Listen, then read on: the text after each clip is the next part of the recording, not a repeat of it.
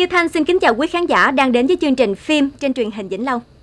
Quý khán giả thân mến, mở đầu chương trình ngày hôm nay, Như Thanh xin được phép chia sẻ đến quý vị những thông tin hấp dẫn xoay quanh bộ phim Ải Mỹ Nhân đang được đông đảo quý khán giả quan tâm theo dõi trên sóng truyền hình Vĩnh Long thời gian vừa qua. Một phần là để đáp lại tình cảm yêu mến của quý khán giả dành cho bộ phim, một phần là vì diễn biến của phim đang đến hồi gây cấn khi nhân vật Phụng Kiều dần hoàn thành kế hoạch trả thù của mình, loại trừ từng người một trong gia đình của ông hội đồng. Chúng ta cùng nhìn lại những bước hành động của nhân vật này để xem liệu nạn nhân kế tiếp trong âm mưu của bà Tư nhà hội đồng là ai nhé. Ai cũng vô cái nhà này được hết á Đâu có coi ra cái gì Cũng không thèm hỏi ý kiến ông luôn Đi Mục tiêu đầu tiên của Phụng Kiều chính là bà hai, mẹ của Sanh. Phụng Kiều dễ dàng gài bẫy bà hai khi biết được mối quan hệ của bà và ông Thời.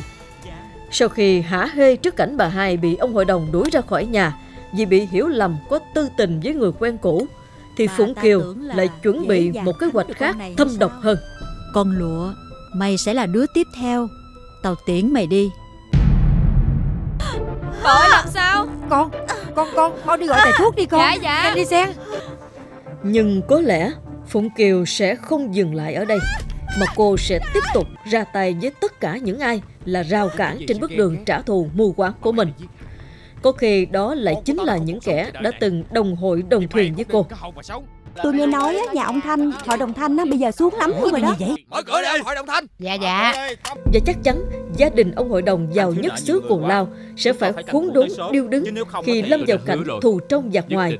Mà kẻ chủ mưu không ai khác chính là bà Tư Phụng Kiều, người mà ông hội đồng Thanh hết mực tin tưởng, thương yêu. mọi người xuống mức thấp nhất.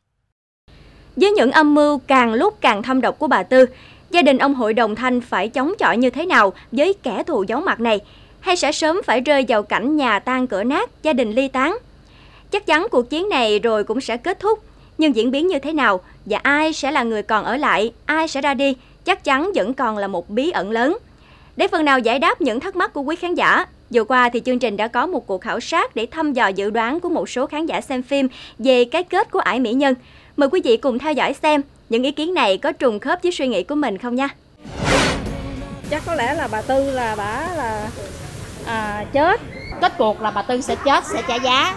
Bà Tư chắc bị đuổi đi quá. Có lẽ về sau này cái người này cũng phải sẽ tự ăn năn tự hối cải. Sau này dập chừng tội ác bả ra thì thì ông ông hội đồng đó sẽ hiểu được là bà này có thủ đoạn âm mưu gì đó thì ông sẽ cho bả ra khỏi nhà hay là làm gì đó. Thì những bộ phim đó thì để từ từ mình theo dõi Mai chắc có lẽ là đuổi đi.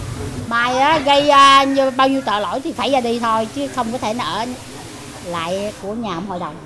Bình á là sau khi biết được là bà tư là người gây ra cái tội ác đó thì mình sẽ hiểu được là lòng dạ của bà đó thì lúc đó nó sẽ hối hận nó quay về. Chiều bên sông thấp thoáng ai đưa con đò tiếng đàn bầu nao lòng người xa cô nhà bên sông có một người lặng lẽ mắt nhìn theo. Đụng tới nhà nó giống như đụng con không chà cho con á